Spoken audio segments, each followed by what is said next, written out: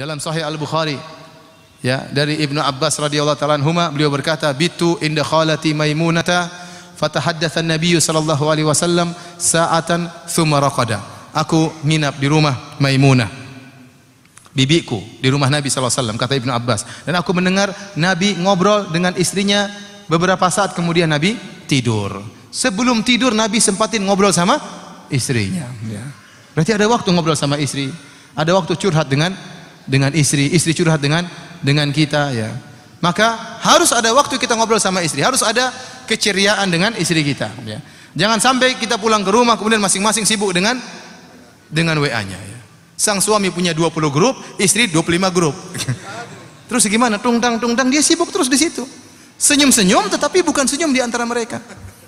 Suami senyum sama grup-grupnya, istri senyum sama grup-grupnya. Suami grup ini, grup anu, grup ini, grup grup dakwah satu, grup dakwah dua, grup dakwah tiga, grup dakwah empat, grup dagang satu, dagang dua, dagang tiga, dagang empat, grup poligami satu, poligami dua.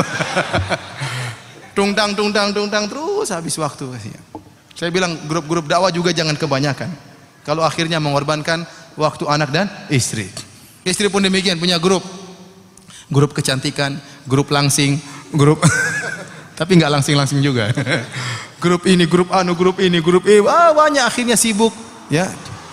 WA bikin sibuk, Facebook bikin sibuk, Instagram bikin sibuk, banyak yang bikin sibuk. Akhirnya apa? Hilang kebahagiaan di di rumah. Kapan mau ngobrol sama sama istri? Apalagi suami pulang dalam kondisi lelah, ya. kemudian masih sibuk lagi dengan HP-nya. Kapan mau ngobrol sama istri? Sehingga surga tidak terciptakan di di rumah. Bahkan sebagian suami merasa rumahnya neraka. Dia ciptakan neraka dalam rumahnya. Ketemu istri tidak ada kemesraan, seakan-akan beban hidup yang harus dia tanggung. Ya, anda ciptakan surga, jangan seperti itu. Ustadz saya kalau ngobrol sama istri saya nggak nyambung Ustadz. Ya sudah, ente jangan ngobrolnya tinggi-tinggi, ngobrolnya rendahin supaya bisa nyambung sama istri.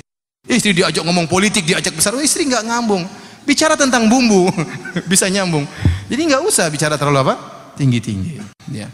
Jadi ini yang perlu kita perhatikan bahwasanya Ingatlah para lelaki, kalau anda tidak bisa menciptakan surga di rumah, anda sungguhnya tidak bahagia. Meskipun uang anda banyak, meskipun rumah anda banyak, ya meskipun mobil anda banyak, anda tidak bahagia sungguhnya. Sungguhnya lelaki yang bahagia adalah lelaki yang tentram di di rumahnya, yang tentram di rumahnya.